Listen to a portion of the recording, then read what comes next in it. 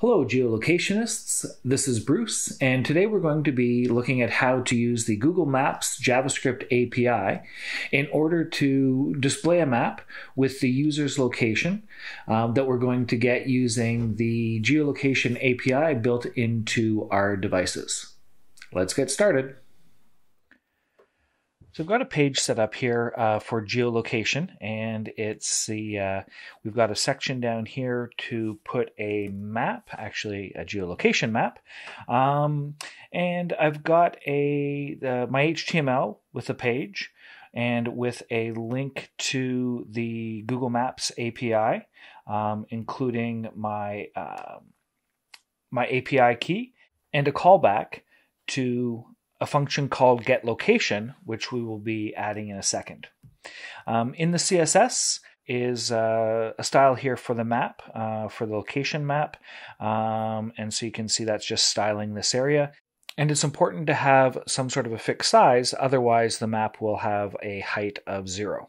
And you can see here I've got a JavaScript file set up and linked, um, and in it the only thing I have is an object for the location information, uh, which I've got right here where we can display messages for the purposes of this demo. So let's create that function. Get location, location, And then we'll zip back to uh, here and click on the Google Maps uh, JavaScript API tutorial. And what we want to do is some geolocation. So we'll scroll down here and click on geolocation. And this is a, a fuller, uh, more fleshed out example, but really what we're looking for is to is this uh, get current position uh, function right here. So we'll take that and we'll paste it into here. Let me just clean it up a bit.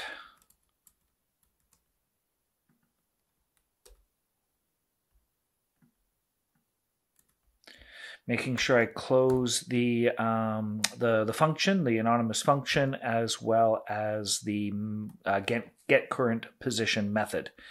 Um, and then to see if it's working, and let's print out the uh, location info that we're getting. Uh, so using backticks, I'm going to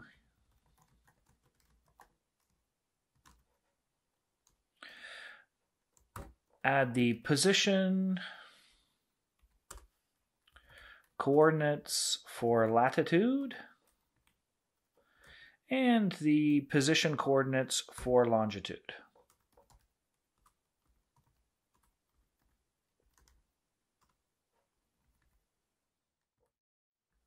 So we'll upload that and flip back to here.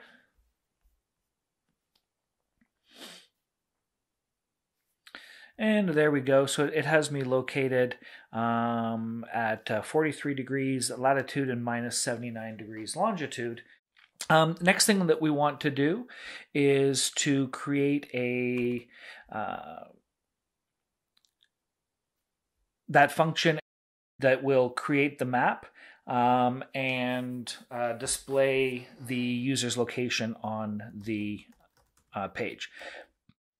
So I'm going to use init map as the name of the uh, function again, and we're going to create that map.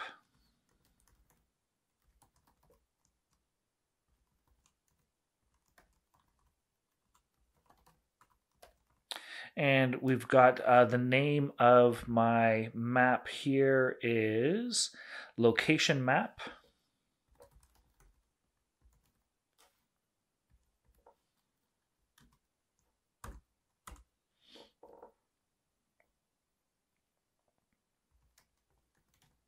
And we're going to center the map at our, our current location. And for now, we'll set the zoom to 16. Um, so, so that location, um, we can do it a couple of different ways. Um, one is to use the Google Maps lat long. Um, so you can see here they've got uh, position equals. But if we go uh, new Google Maps lat long. And then we're getting the latitude and the longitude or the longitude.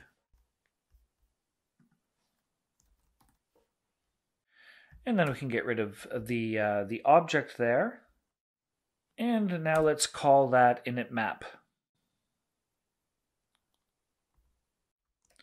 Function passing the uh, lat long um, Google object. Right, so we're passing it uh, as a, our position uh, into here for location, and then we're centering the map at that location. Right? And putting the map into the location map um, object already on the page. And we've got a console error.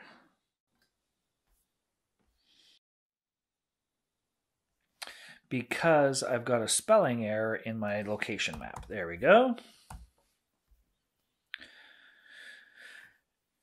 So, so now, now you can see um, that uh, we've got a, a, a, map, and if we uh, zoom out a little bit here, you'll see it's centered uh, somewhere uh, just north of Toronto, which I'm assuming is where my ISP has uh, their uh, their offices or, or their data center. Um, so the next thing we probably want to do is to add a marker. Um, so we're going to go ahead and create a new marker. So let, we'll call it marker.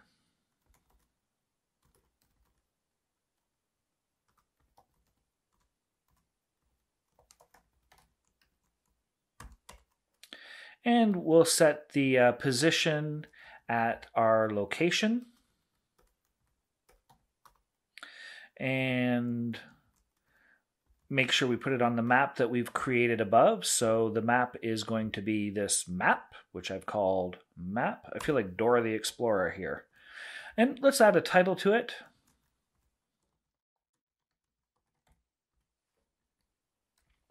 So this title will appear when you hover over the marker. And let's add a label. So this label will appear kind of behind the marker. And just to make make it clear which one's which, um, I've obviously you are here and here are here you are. So let's save that and upload and upload, not dictionary, and then we'll come back here and refresh. And with any um, luck, our marker will appear and it will say, here you are. Um, and if we hover over it, then you should get the title uh, coming up as well. There's two parts, um, as you've seen. One first part is getting uh, geolocation or getting the person's location using uh, HTML5 get current position. Um, then we're creating a lat long uh, object uh, with, using Google Maps and then passing that into um, when we initialize the map or when we create the map, um, centering it at the location and setting an initial zoom to 16. Um, and then we're adding a marker at that location um, and adding a title and a label to that marker. I hope this helps.